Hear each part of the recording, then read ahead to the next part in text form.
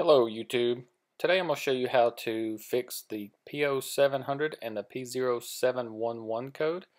This applies to the 8L90 8-speed transmission. General Motors has used this transmission in many applications. Before we get started I should tell you that you if you don't have a way to read the transmission temperature then you won't be able to get an accurate uh, fluid level check on this transmission. If you monitor the transmission fluid temperature sensor uh, while you're operating the vehicle, you'll usually see um, a pretty good temperature swing within you know an unreal amount of time. Um, that's that's a good indication that your temperature sensor is failing. There are three 10 millimeter bolts holding this heat shield on the passenger side of the transmission. This isn't completely necessary, but it does help for you to see what's going on behind it. What you see here is the transmission fill plug. You want to take and pop the top. It's like a push pin type deal. Pop the top and then you have to kind of work it out of the hole. It's Sometimes it's snug fit. Um, so you might ask why I'm taking the fill plug out when I'm not filling the transmission. I'm actually going to suck the transmission fluid out through this port and it just helps not make such a big mess when you're dropping the transmission pan. So this is what I use to suck the transmission fluid out the fill hole.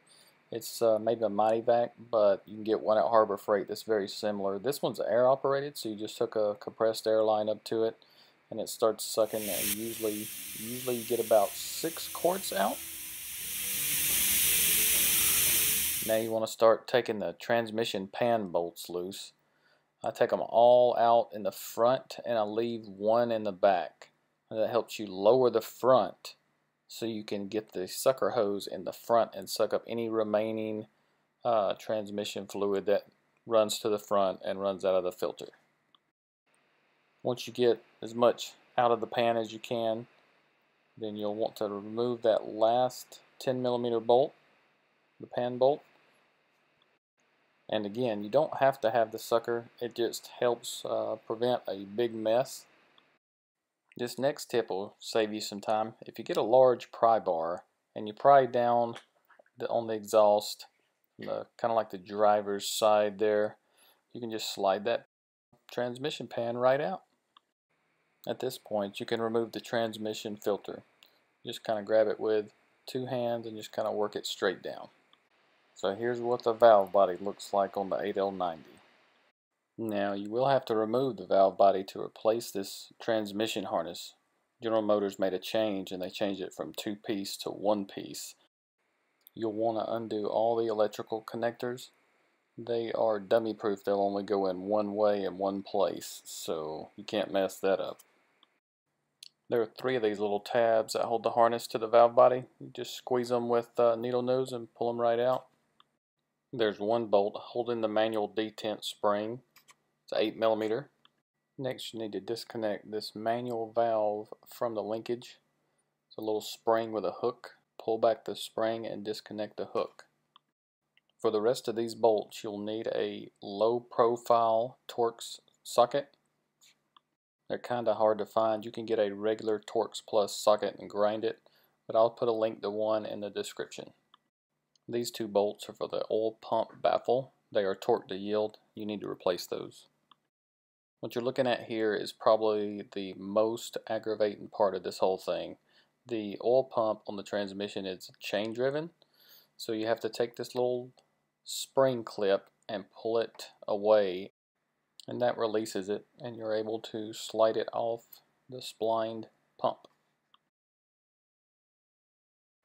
One trick I use here is I use a zip tie and zip tie the chain to the sprocket.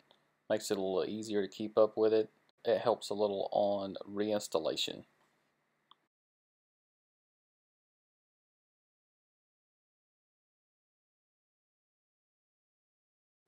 Now you're going to need that EP10 Torx Plus socket again and start taking out these six Torx Plus bolts.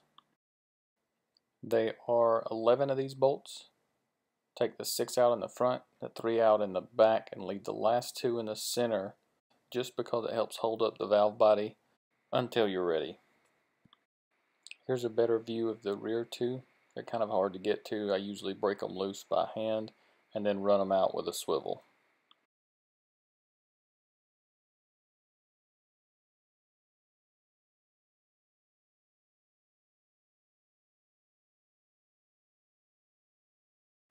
And this is the third one in the rear.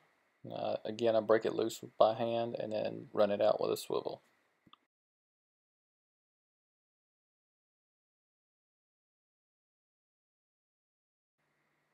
Here's the last two that remain. Go ahead and shoot one out, loosen the other, get ready to drop the whole valve body at once.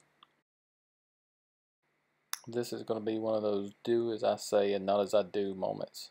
Do not use a rag to touch anything on the inside of the transmission. This valve body was super hot as a customer just had drove it in. It's the only reason I'm using a rag. If you have to use a rag, use a lint-free type. Now that the valve body is out, you need to pay special attention to this seal right here.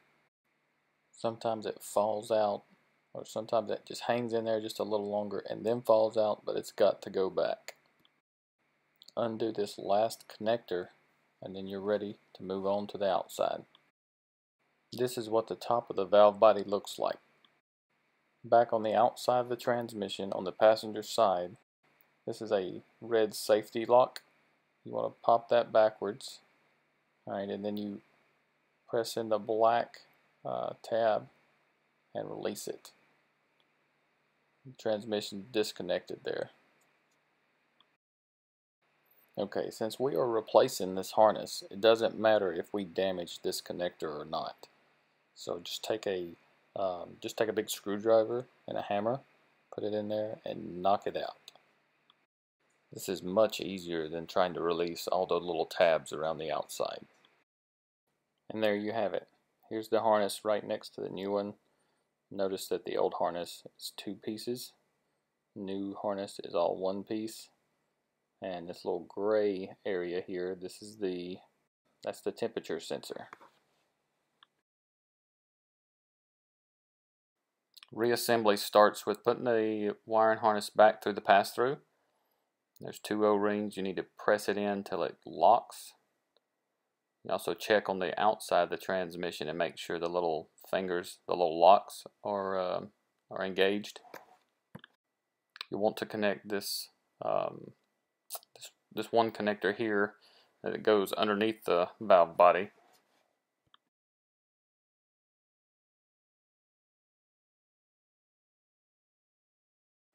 Go ahead and plug the electrical connector up.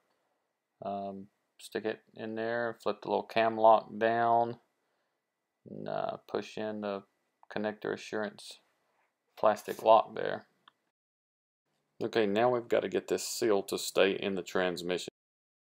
This is transmission assembly lube.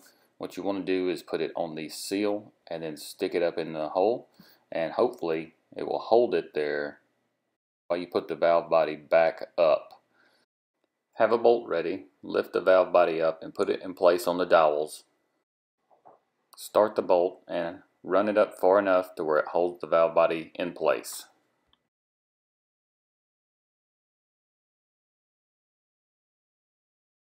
Start all the remaining bolts by hand.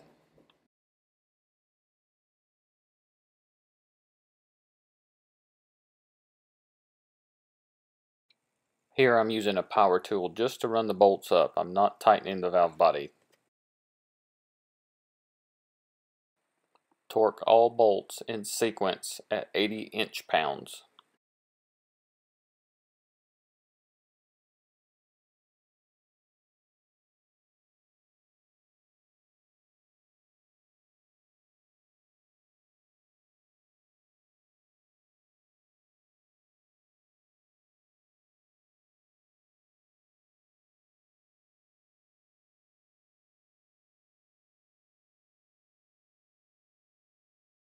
After they're all torqued to 80 inch pounds, I just go over them a second time, this time in no particular order.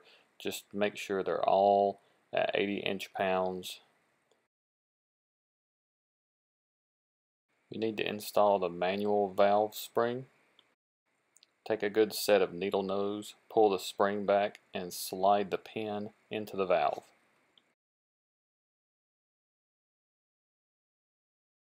Install the one 8 millimeter bolt into the detent spring and tighten to 106 inch pounds.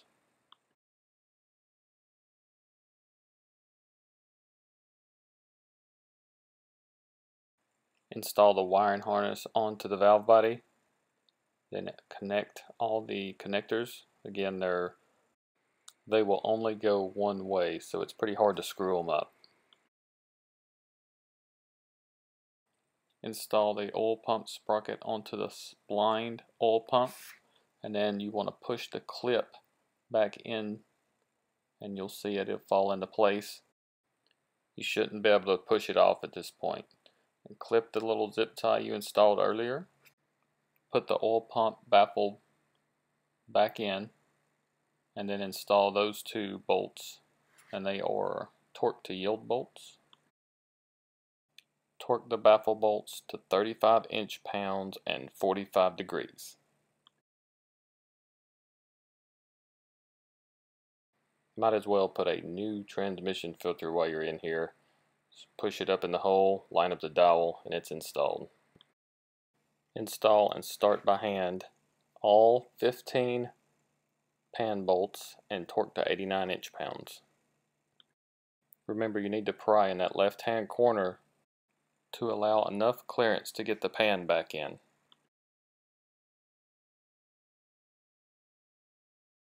Go ahead and rinse the bottom of the pan and the exhaust pipe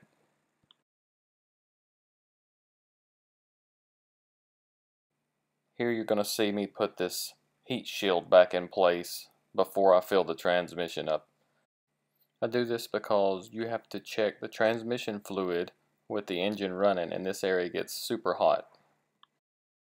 We need to talk about transmission fluid here. The correct fluid is made by Mobil 1 and has a blue label on it. No other fluid will do. This is another fluid extractor, except this one you can pump out of usually fill this with about 8 quarts and then I'll pump 7 into the fill plug hole and then crank it. After the vehicle starts you need to monitor the transmission fluid temperature. Go ahead and pump the 8th quart into the, into the fill plug. With the transmission between 93 and 113 degrees, you need to remove the transmission level check plug.